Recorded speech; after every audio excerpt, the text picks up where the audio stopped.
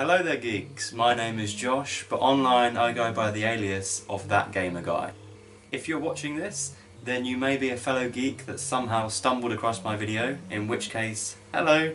Or more likely, you're a friend of mine or a family member, my mum, in which case thank you for watching this video. However, you may be one of my old subscribers, in which case, welcome back. You see, up until last year I was a fairly consistent blogger and vlogger, but for whatever reason I had a bit of an existential crisis and deleted all of my social media.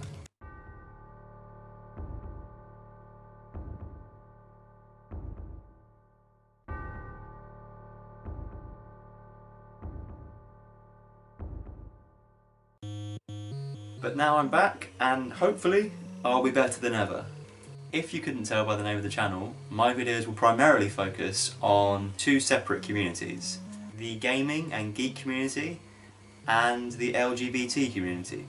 Now these are two communities that separately have a big presence on YouTube, but combined together, not so much. And whilst my channel will include reviews, let's plays, unboxing videos and fun stuff like that, I also want this channel to be a place for discussion.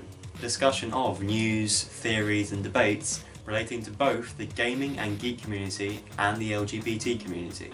So whilst of course I wouldn't mind being a big famous celebrity YouTuber, no big deal, the real reason I create online content in both blogs and vlogs is because more than anything I have a passion for these two communities and an even greater passion for connecting them.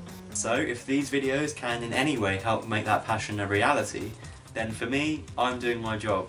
If you're still watching this video, and you're not my mother, I'm going to guess that you share my passion for these communities.